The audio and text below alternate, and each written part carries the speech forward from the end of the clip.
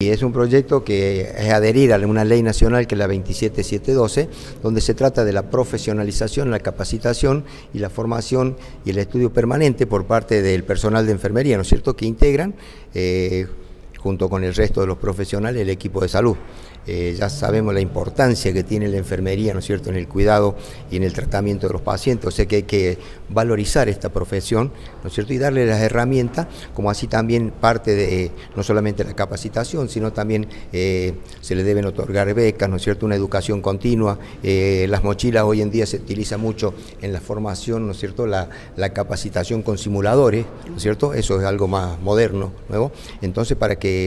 nuestros enfermeros puedan tener, ¿no es cierto?, las mejores condiciones y como también así aquellos auxiliares de enfermería para que puedan acceder, ¿no es cierto?, con estas capacitaciones a la profesionalización. O sea, estamos levantando el nivel, ¿no es cierto?,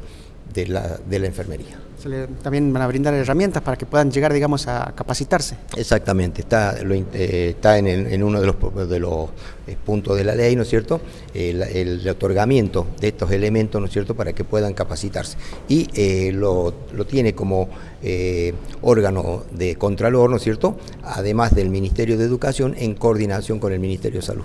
Doctor, también se ha aprobado en definitiva un proyecto que tiene que ver con eh, instituir una semana de concientización sobre parálisis cerebral. Sí, efectivamente, este proyecto viene de la Cámara de Diputados, o sea que se le dio la sanción definitiva para concientizar, ¿no es cierto?, sobre aquellos pacientes que muchas veces nosotros los vemos, ¿no es cierto?, son pacientes que están en silla de ruedas, que tienen severos trastornos motores, ¿no es cierto?, debido a algún traumatismo o algún problema durante el parto generalmente, ¿no es cierto?, donde estos niños nacen con una parálisis cerebral. Eso puede, depende de la zona afectada del cerebro, puede darle distintos síntomas. Pueden tener o contracturas o flacidez de los músculos, trastornos en los reflejos, algunos casos se pueden dar con epilepsia, otros ceguera, otros sordera, e incluso también le puede alterar o no eh, la función intelectual que tiene el cerebro. Así vamos a ver algunos pacientes con déficit del aprendizaje, con algunos este, trastornos, ¿cierto? Eh, otros pueden tener una